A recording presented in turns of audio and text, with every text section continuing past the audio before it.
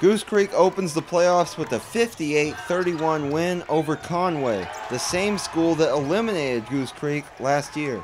I think the veterans wanted to see Conway. I think they, they knew we didn't play our best ball last year there and got let one kind of slip away, which was the opportunity to go to lower state. So I think they wanted to see them.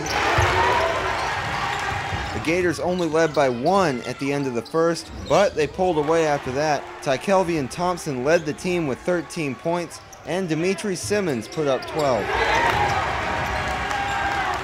The chemistry is so good with this group. I think they just really enjoy playing with one another. I think that's the thing. I think they really cherish those moments. They might not cherish the practices with me, but they cherish the opportunities to compete. With this win, Goose Creek has advanced to the state quarterfinals. The Gators are set to host Region 5 champ Dutch Fork. Luckily, we get them have them here, so that's nice. The kids get another home game.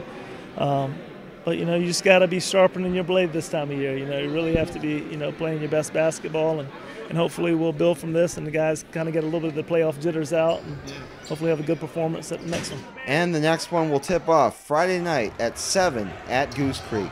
In Goose Creek, I'm Will Volk.